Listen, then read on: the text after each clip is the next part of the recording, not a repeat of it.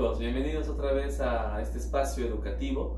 En este caso, conmigo el área de ciencias sociales. Soy el profesor José Manuel Durán. Esta clase va, dirigido a los estudiantes, va dirigida a los estudiantes de primero de secundaria. ¿Sí, muchachos? Entonces, muy bien, comenzamos. El tema de hoy, como ya pueden estar viendo, es la prehistoria. Y es el tema inmediatamente eh, sucesivo al de la hominización. ¿Se acuerdan del proceso de evolución del hombre que eh, Australopithecus, luego Homo habilis, Homo erectus, Homo sapiens y finalmente Homo sapiens sapiens? Ahora de quien vamos a hablar pues es de él, del último que quedó, el, el que actualmente está viviendo y habitando nuestro planeta, el Homo sapiens sapiens. La prehistoria ¿sí? Hay que entenderlo desde un, un concepto eh, etimológico, ¿sí? Utilizando raíces griegas. Pre es antes, ¿cierto? Entonces, ¿antes de qué? Antes de la historia. Es una etapa que no está dentro de la historia. La historia formalmente comienza cuando aparece la primera forma de escritura, las primeras civilizaciones en Mesopotamia, en Egipto, ¿sí? Pero la prehistoria es todos esos años y, acontecimientos que se dieron antes de este periodo llamado eh, de la historia de la civilización. Entonces, muchachos, para poder comprender mejor qué cosa es la historia, se ha dividido, mejor dicho, se ha subdividido incluso para poder entender mejor cada acontecimiento que se fue dando. Y así, muchachos, tenemos que entender primero este cuadro. La prehistoria tiene edades, la historia también tiene edades. Mientras que la historia tiene cuatro edades, antigua, media, moderna y contemporánea, la prehistoria solamente tiene dos, que son la edad de piedra y la edad de los metales. En la edad de piedra, muchachos, es una época en la que el hombre, pues como lo dice su nombre, solamente sabía eh, utilizar herramientas líticas, o sea, herramientas hechas de piedra. A su vez, la edad de piedra se subdivide en tres periodos. Acá solamente en el cuadro podemos ver dos, el paleolítico y el neolítico, pero en el medio hay una fase de transición que se llama mesolítico, vamos a hablar después.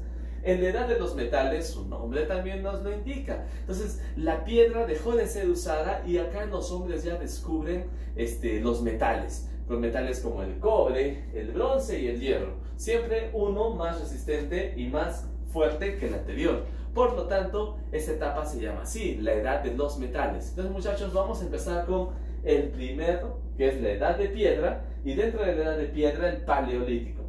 Cuando hablamos de paleolítico, vamos a entender otra vez este, este significado o este, eh, el, esta palabra con raíces etimológicas griegas. Paleo significa antiguo, lítico, ya lo hemos dicho una vez en clase, está relacionado a la piedra. Por lo tanto, paleolítico significaría piedra antigua, ¿no es cierto? Paleo antiguo, piedra, eh, perdón, lítico, piedra, ¿ok? Ahora, ¿qué características tiene el hombre en el paleolítico? Como estás viendo acá, y en el dibujito también se ve, es cazador, ¿sí? Él no sabe criar todavía este, a sus animalitos. ¿Qué otra cosa es? Pescador y recolector. No sabe cultivar, no sabe ah, eh, eh, eh, usar la semillita, que echarle agüita para que la planta crezca. No conoce eso todavía. Solamente recolecta, arranca frutos de diferentes árboles y con eso se, él se alimenta, pero no sabe todavía manejar la agricultura. Y como no sabe eso, va a llegar un momento que digamos está en un lugar y se le acaba toda la comida, ya se la comió. Entonces ya no tiene nada, él quiere sobrevivir. ¿Qué va a pasar? Se va a tener que ir a otro sitio. Y por eso, muchachos, es que él va a estar de un lugar a otro, movilizándose de un lugar a otro. Y por lo tanto le vamos a llamar nómade, porque no se establece en un lugar fijo, tiene que estar buscando alimento cada vez que se le acaba. ¿Y por qué se le acaba? Porque no sabe eh, el producir su alimento, no conoce lo que es la agricultura. Dentro del paleolítico también hay, hay, una subdivisión. Sí, ya sé que esto es que se divide y luego se subdivide y luego se subsubdivide, pero hay, hay que aprender, ¿ok muchachos? Los tres paleolíticos se llaman así. El más antiguo se llama paleolítico inferior. Ahí es cuando aparecen los primeros homos. ¿Te acuerdas del Homo habilis, el primero que empezó a utilizar herramientas de, piedra? ¿Te acuerdas del Homo erectus, el que ya dominaba el fuego? Esos dos aparecen en el Paleolítico inferior. En el Paleolítico medio, el que más se desarrolla y el que, predomina durante el Paleolítico medio es el hombre de Neandertal, el Homo sapiens. Mientras que en el Paleolítico Superior, ya el que predomina y el que prácticamente se apodera de todo es el hombre de Cromañón, también lo llamamos Homo sapiens, sapiens. Entonces, estas tres fases tiene el Paleolítico. Como ya lo hemos analizado, es una etapa de la historia donde el hombre utiliza herramientas de piedra. No conoce la agricultura, se dedica solamente a la cacería, a la recolección y a la pesca. Y, pero algo que es muy representativo del Paleolítico son este tipo de arte, el arte rupestre. ¿Y a qué le llamamos arte rupestre? A las pinturas, dibujos que ellos hacían en las cavernas, en las cuevas donde vivían. Porque como te dije, es un hombre nómade, no tiene una casita, una chocita, una aldea. No, no, no. Vive en cavernas, ¿no? Y de las cuevas, estas cavernas se producen naturalmente, ¿sí? Ahora, en esos lugares, estos dibujos los hacían este, los hombres del Paleolítico. ¿Y exactamente qué dibujos son? Son dibujos de los animales que ellos cazaban. Unos dicen que seguro lo hacía para adornar la cueva, para que se vea bonito. Entonces el hombre era artista. No tanto. Otros decían este, que seguramente es para dejar un registro, ¿no? Para que la gente sepa de ellos. No, tampoco es un registro histórico necesariamente. ¿Cuál es la razón por la cual los hombres del Paleolítico hacían estos dibujos, ¿no? Como se puede apreciar, son ganados, son animales prehistóricos, incluso que hoy en día ya no existen.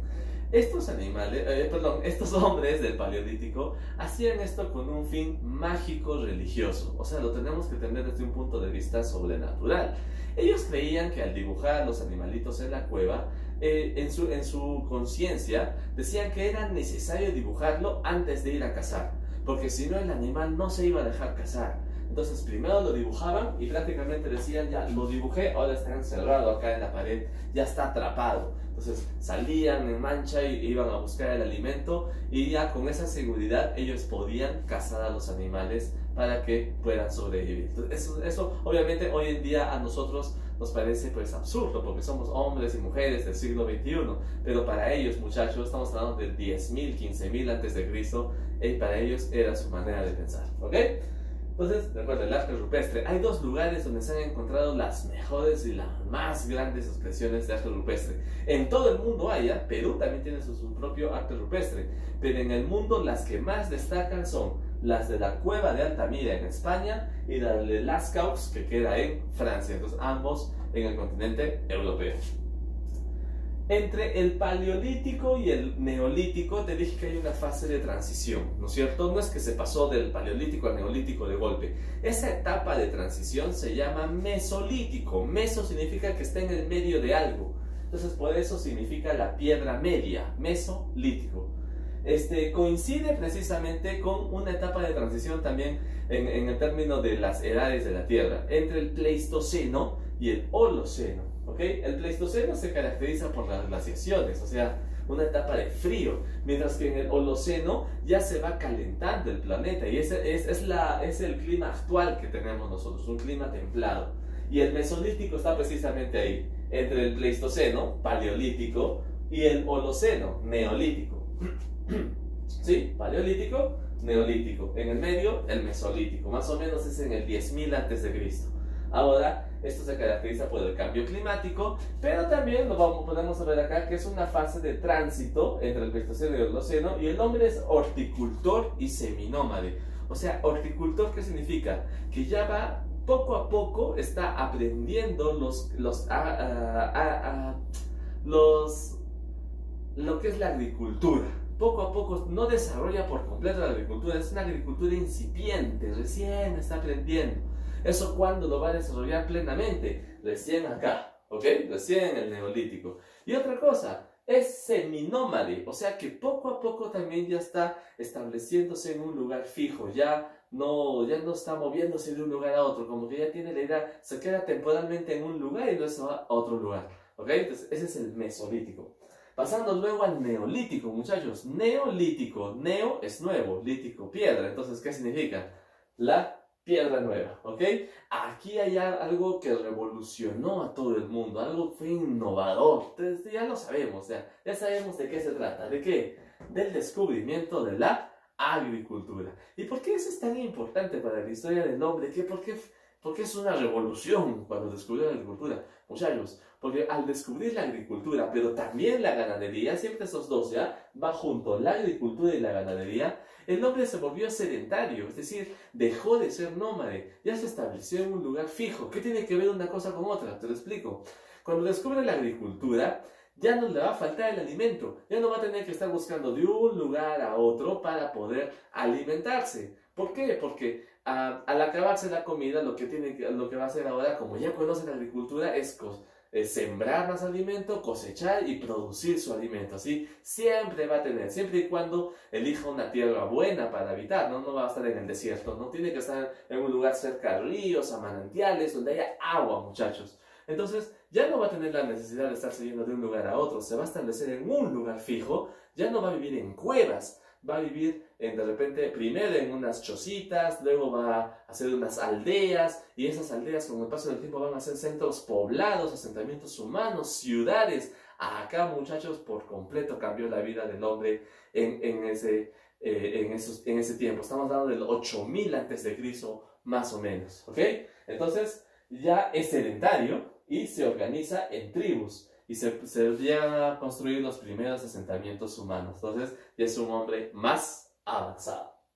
En este mapa lo que podemos ver es en qué lugares del mundo se dio esta revolución neolítica, o sea, el hecho de que el hombre se vuelve agricultor y ganadero. Ah, no olvidaba, pues, junto a la agricultura está la ganadería. La ganadería es el hecho de que ya no va a cazar, ya no va a matar animales y nada de eso, ¿no?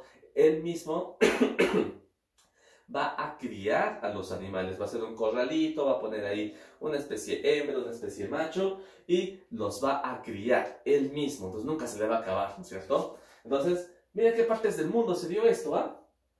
En el, en el lejano, en el Medio Oriente, en el, en el creciente fértil, le llaman así la zona de Egipto a Mesopotamia en parte de la India, de la China y en América, muchachos, Mesoamérica, y mira qué importante, de todo el planeta los Andes eran una zona que también desarrolló la, eh, la revolución neolítica, el descubrimiento de la agricultura y de la ganadería. ¿Ya? Ahora, tenemos la edad de los metales. Entonces, lo que hemos visto paleolítico, mesolítico y neolítico corresponde a la edad de piedra. Y ahora tenemos la edad de los metales.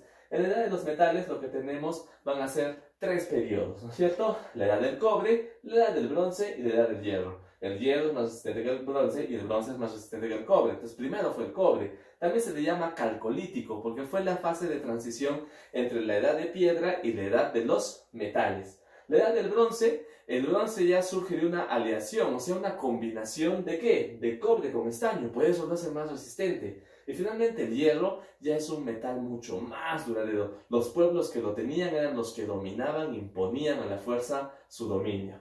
Y esto fue sobre todo transmitido por un pueblo llamado los hititas. Entonces, como puedes ver, ya empiezan a hacer sus eh, moldes para fabricar sus herramientas. Recuerda que el metal va a ser más resistente que la piedra, ¿no es cierto? Y por lo tanto va a haber ahí un desarrollo, la edad de los metales.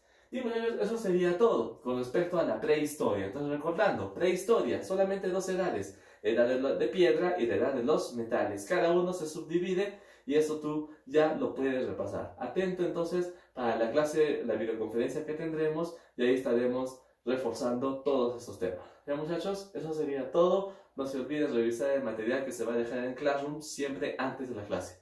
Chao chicos, cuídense.